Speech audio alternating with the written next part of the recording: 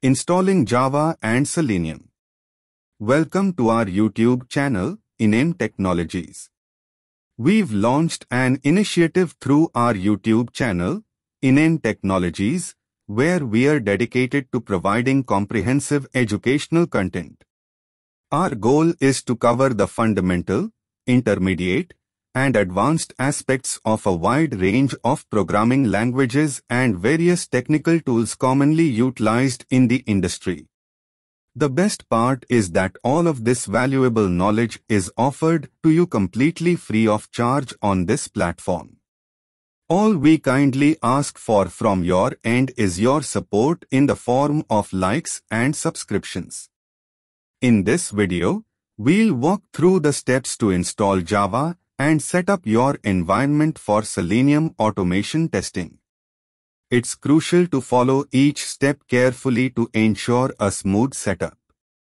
Prerequisites Before we dive into the installation process, make sure you have a good internet connection and a laptop with a minimum of 4 GB RAM. Softwares to be installed 1. Java Development Kit JDK 2. Eclipse 3. Maven project with dependencies. Step 1. Installing the Java Development Kit JDK. This powerful toolkit called as JDK has a rich history initially developed by Sun Microsystems and later acquired by Oracle. It's a pivotal component of Java development and an extended subset of the Software Development Kit commonly known as the SDK. The JDK equips developers with a comprehensive set of tools necessary for creating, debugging, and monitoring Java applications.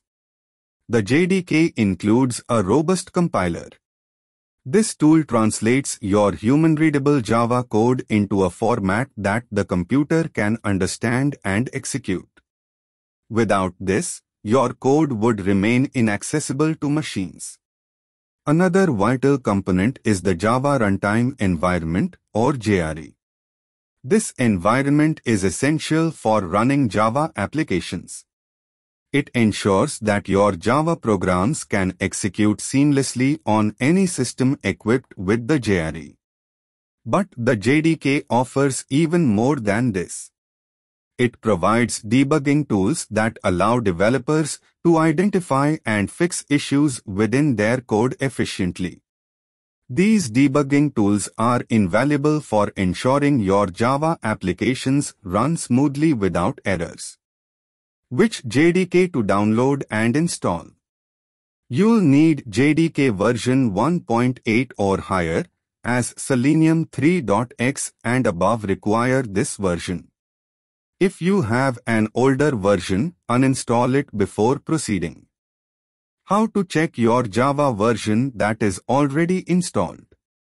To verify whether Java is already installed in your machine and to check its version, open the command prompt by pressing Windows key plus R and type cmd and hit enter key. Type the command java-version in the command prompt that is opened. If you see a response as Java version x.x.x this means that Java is installed. If you get the response as Java is not recognized as an internal or external command that means that Java is not installed. Uninstalling old Java versions. If you have an older version lesser than Java 1.8, Uninstall it by going to Control Panel, click on Uninstall a program. Search for Java and uninstall any lower versions. Installation of JDK Download the latest JDK version from Oracle's website and get it installed in your machine.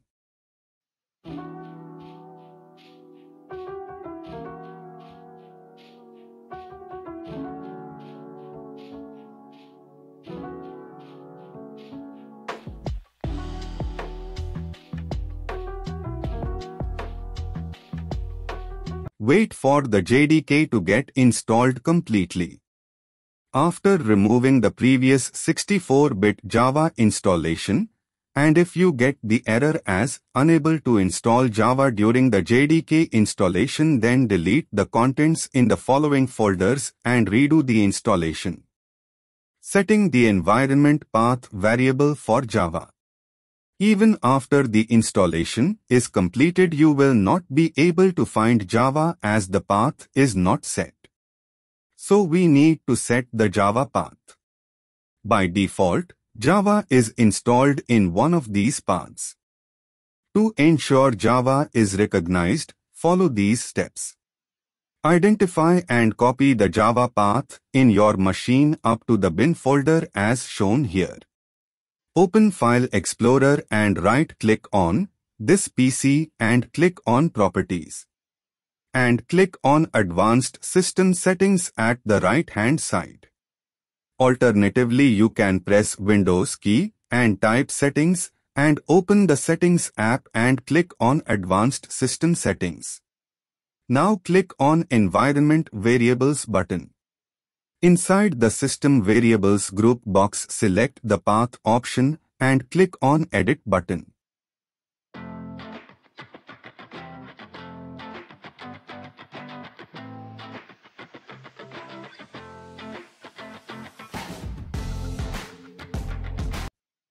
Press New button and add the Java path up to the bin folder and press OK on the Environment Variables window and the System Properties window that are opened.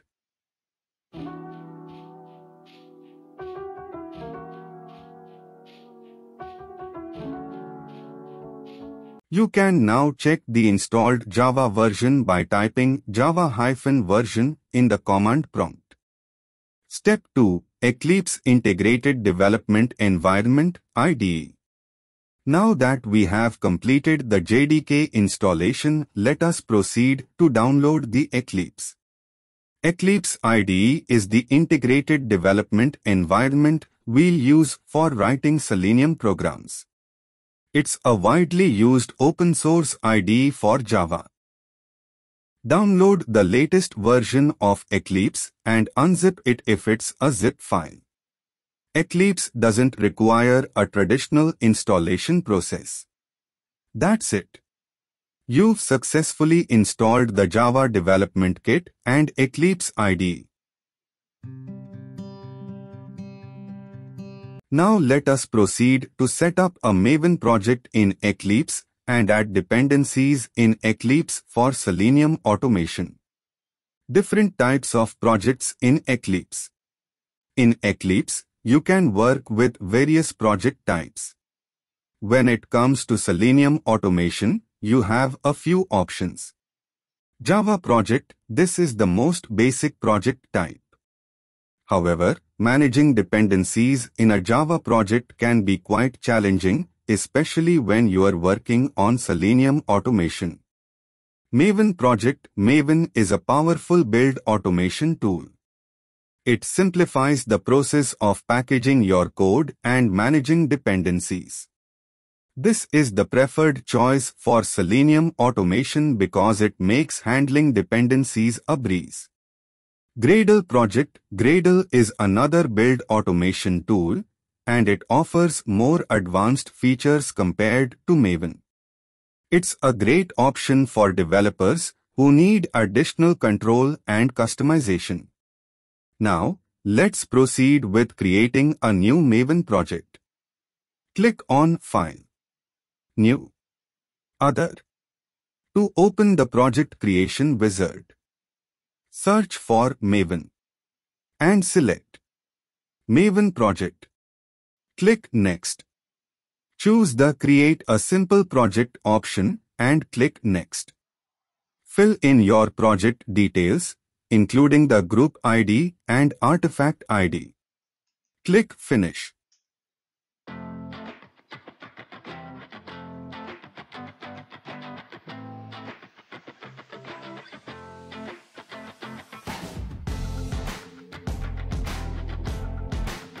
Adding dependencies in pom.xml project object model. Now that we have created the Maven project, Now we need to add the necessary dependencies to our Maven project. This is done in the project's pom.xml file. Open the pom.xml file in your project. You'll find it under the root of your project's directory structure. Add or locate the dependencies section and between the dependency tags, add the Selenium Java dependency. You can find the exact dependency on the Maven repository website by searching in Google with the search term as Maven Selenium Java dependency.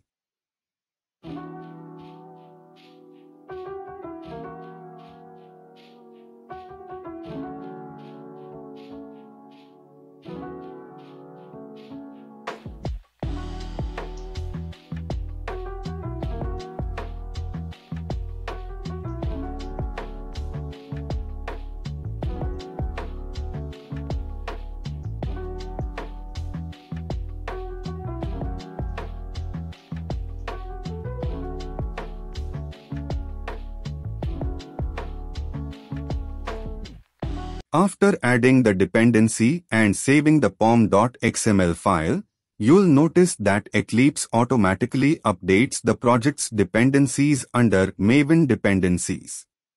Adding this Selenium Java Maven dependency ensures that the required Selenium jar files are downloaded and available for you to work with Selenium.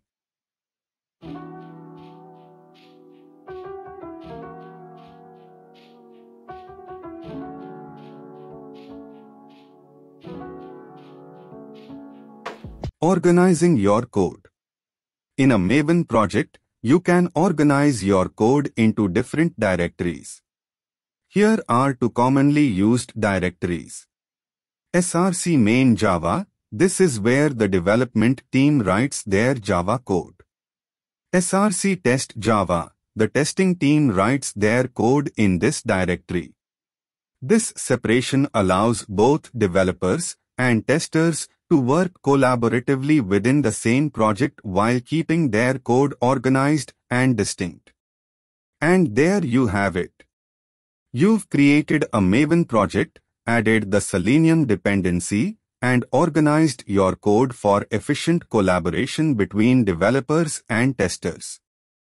Stay tuned for more tutorials on Selenium automation. Happy testing!